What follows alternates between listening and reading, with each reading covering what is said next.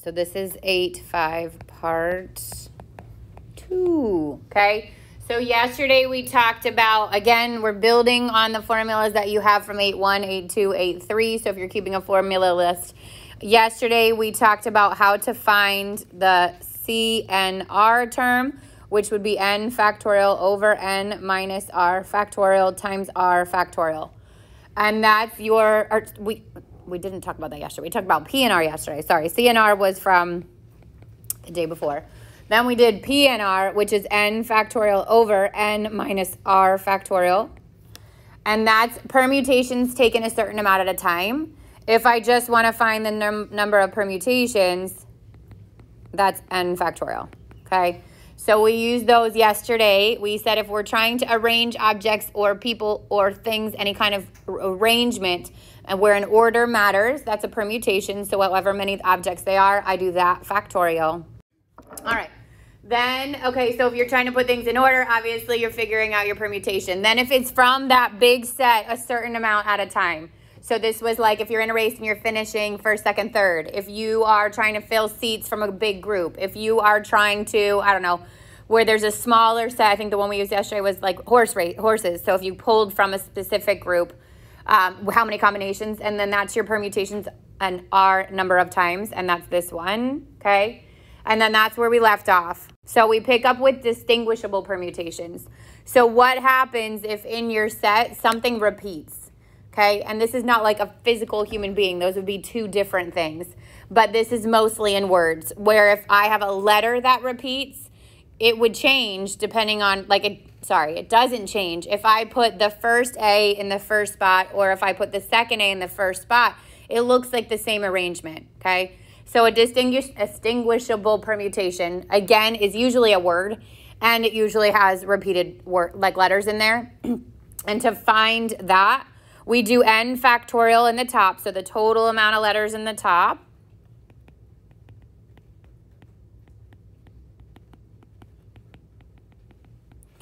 And then we look at each individual letter and list how many times it repeats. And we do each letter's factorial. So if a letter repeats twice, we would put 2 factorial in the bottom. If a letter's there only once, you could put 1 factorial. You don't need, obviously, the 1 factorial because it doesn't change anything. If a letter repeats three times, then you put 3 factorial. So for each of the ones that repeat, you're to do that factorial in the bottom, and then you just simplify it. So it would look something like this. How many distinguishable ways can the letters banana be written?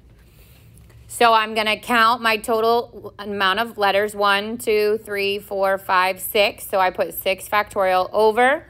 And then there's only one B. So you can do 1 factorial. But again, you don't need it. How many A's are there? Three. Three. So there's going to be a 3 factorial for the A. How many N's are there? Two. Two. So there's going to be 2 factorial for the N. So then when I multiply this out, I'm going to do the same thing we did before. Take the bigger factorial, break it down until I hit the biggest one in the bottom, which is the 3. I'm going to line it up with the 3. And then I would do 2 times 1. The 3's cancel. The 2 goes into the 4 twice. And I get 6 times 5, which is 30, times 2, which is 60. All right, a combination is different from a permutation in that order does not matter. So if I'm pulling objects and I pull a Twix and then on the right of it I put a Twizzler, if I switch those two, that would be a permutation if it counts. So if I put slot in slot one, I put a Twix, in slot two, I put a Twizzler, that would be one way that that could be done. If order matters and I switch them, now it's a second way, okay? That's a permutation. If order doesn't matter and I'm just grabbing two candy bars, it doesn't matter if I have the Twix in my left or the Twizzler in my right or it's reversed. That counts as one thing. That's a combination. So this is to me the hardest part to figure out in all the stuff we're about to do. Is it permutation or combination? If the specific spot you're putting whatever it is in matters, that's permutation. If it does not, it's combination. So you will see words like if I am in a race and you want to figure out the number of ways a runner can finish first, second, third, that's permutation because if you finish first or you finish second, it is different. If it is uh, you want to place in the top three, now that's a combination because your top three, if you're a first, second, third, it doesn't matter, you're still top three. Does that make sense? Okay. If you are like getting selected for a board, let's say like student government, right? And it's just like there's student council and the top 10 elected are representatives of your class. That's a combination because it doesn't matter which spot you're in, you're a class representative. But if it is president, vice president, secretary, that kind of thing, that is a permutation because it is different for you to be president than it is to be vice president. Does that make sense? Okay. So a combination, we use CNR. This is selecting from a subset and which order is not important. Now the hardest thing is to like read something as a word problem and to figure out the wording on it. Sometimes it flat out says order matters and sometimes it does not and it could assign a role. That would still be a permutation, okay?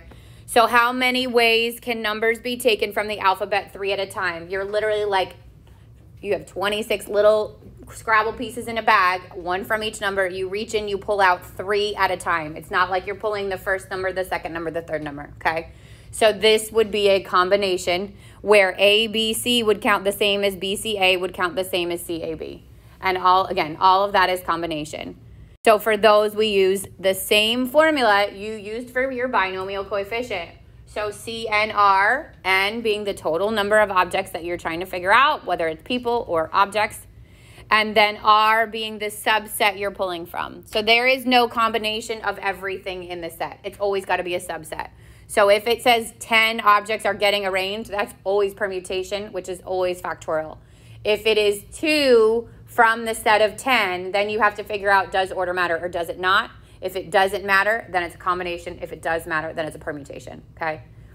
So that same button on your calculator that gets you the probability that had the NPR that we did yesterday has an NCR, or you can use the formula n factorial over n minus r factorial times r factorial. There will always be less answer, a smaller answer for a combination than a permutation because something like AB would count as one, whether it's AB or BA, whereas a, and a permutation, those are two. So they'll always, this number, if you compare the two, will always be smaller. One, you're dividing by R, which makes it small, but also because of that. All right, so 10 says, uh, in how many different ways can three letters be chosen from the letters A, B, C, D, and E and I literally put the order of the elements is not important, but at some point that's not going to be there. So you got to be careful and pay attention to the wording.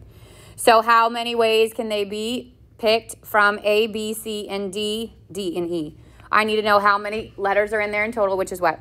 Five. Five. So that is your N. And what are we picking? How many are we picking? Three. Three.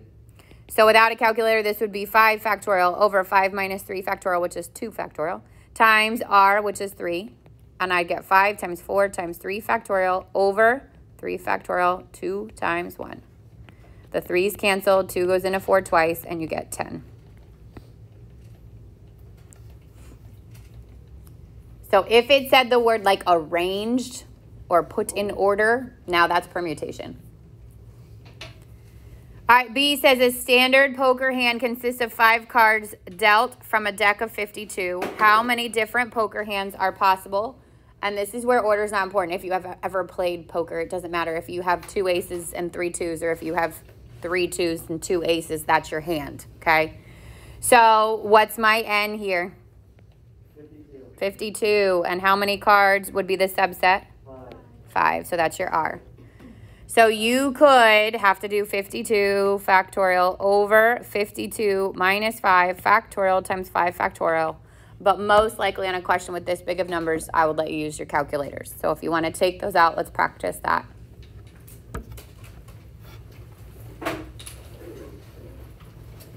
If you have a CNR um, button, then obviously I would recommend using it. If not, if you don't have a CNR button, you could literally plug it in exactly as it is, but you have to group the denominator together.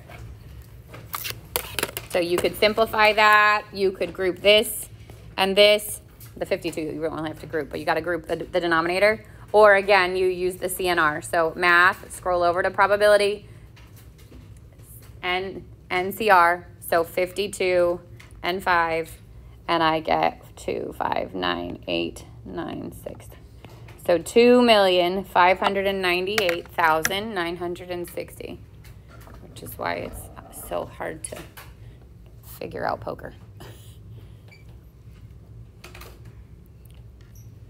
Questions on that one?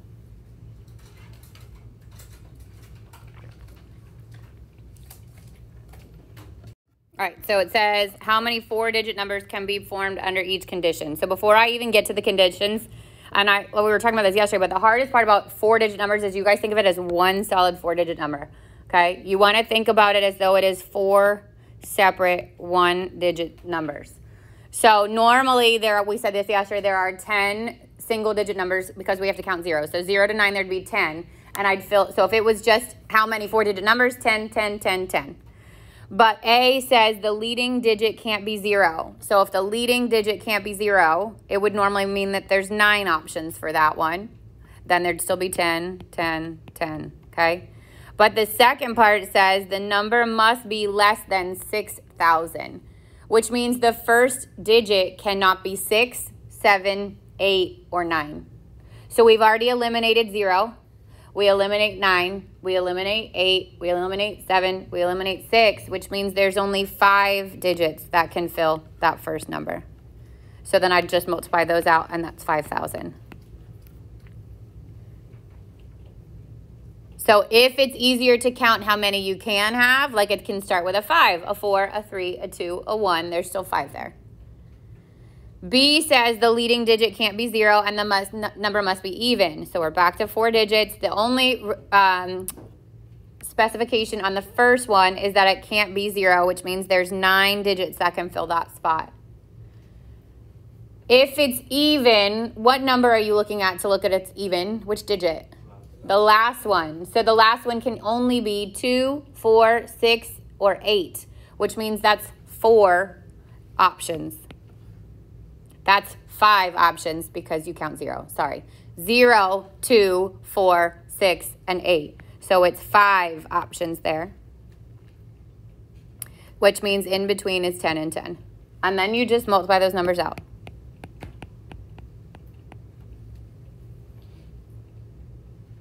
Yep. Mm-hmm. Yep. Anytime, well, first of all, and it says distinguishable permutations. I feel like one of the, I think it almost always says that, so that's your hint. But two, you have something in which something in the letters repeat. Yeah.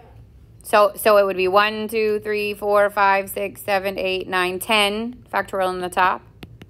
And then there's only one x, which you don't need the one factorial, but you could put it. There are one, two, three, four l's, so four factorial. There are one, two, three k's, three factorial, and there are one, two q's, two factorial. And then you simplify it from there. You're welcome. All right, 10 says a school locker has a dial uh, lock on which there are 34 numbers from 0 to 33. Find the total number of possible lock combinations when the lock requires a three-digit sequence from left to right, and the numbers can be repeated. So three digits, one, two, three, okay, where the first one would be from 0 to 33. So there's 34 options there. And then that can repeat. So it's 34, 34, 34. Wait, lock. Yeah, yeah, yeah, yeah. That's too big. Nope, that's right. So if it had said it can't repeat, let's say it said cannot repeat, how does that change this?